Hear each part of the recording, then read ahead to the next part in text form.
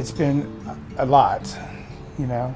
And when I first the, the first two surgeries, the nurses were here just about every day.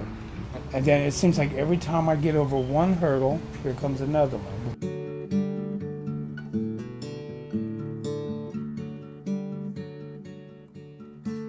RAIN, uh, Oklahoma helps me with case management, housing, medical, food, transportation. Getting back for the doctor has been wonderful. Um, just about everything right now. If it wasn't for, I guess, RAIN and the, I'd be homeless.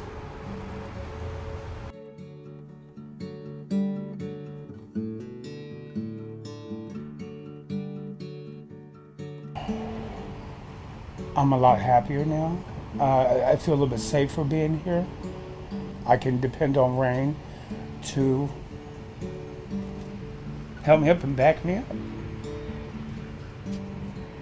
I feel like this is home right now.